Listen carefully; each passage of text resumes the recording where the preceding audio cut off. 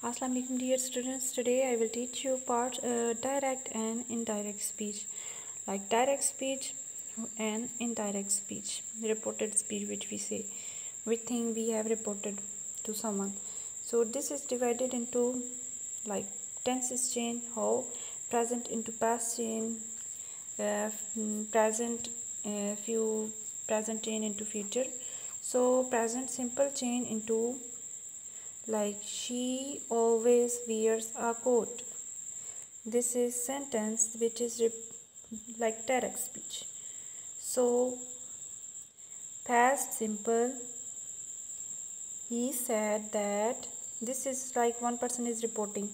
She always wore a coat wear into wore second form. Then present continue. I am looking for my keys he or she said you can mention here that invert, inverted commas we can remove with that.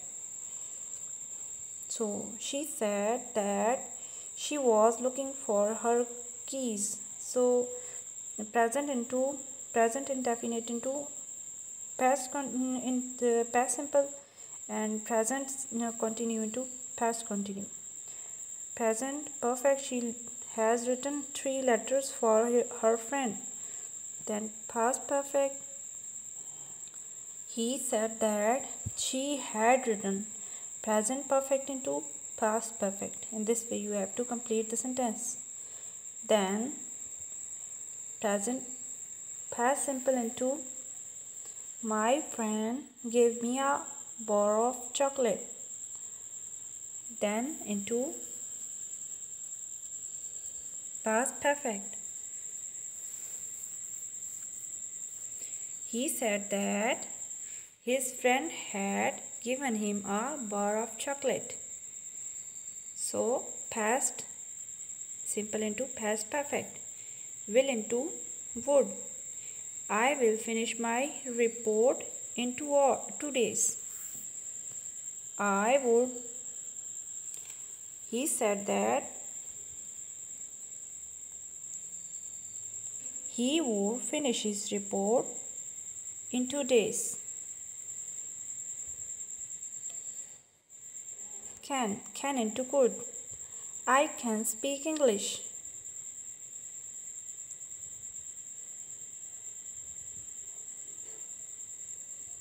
Can into could.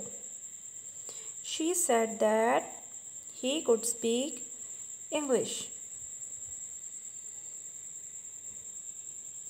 May into might. I may invite them to dinner.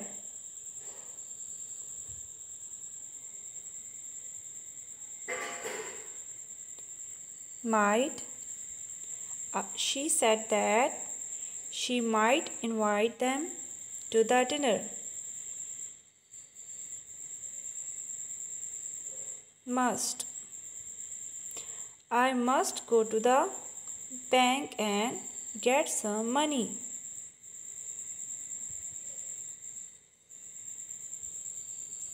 Then next is had to. Must into had to. She said that she had to go to the bank and get money.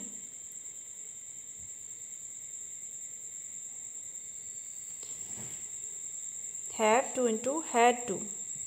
I have to some submit this assignment by 3 p.m. tomorrow.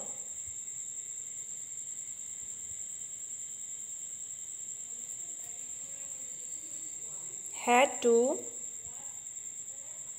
She said that she had to submit this assignment by 3 p.m. tomorrow.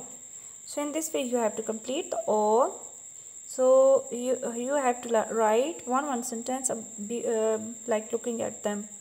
Best of luck. Have a good time